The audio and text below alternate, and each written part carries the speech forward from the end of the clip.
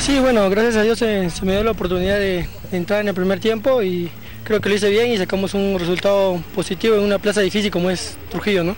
Yo creo que, que estamos encontrando la idea del juego con, con el profe Arce, creo que, que, estamos haciendo bien las cosas, creo que, que este último partido lo, lo demostramos y, y, creo que estamos para grandes cosas, ¿no? ¿Cuál es la clave para ganarle a Juan Auriz? Salir a proponer de un inicio y, y no dejar que, que, ningún equipo de visita venga a querernos pintar la cara acá y creo que, vamos a sacar un resultado positivo.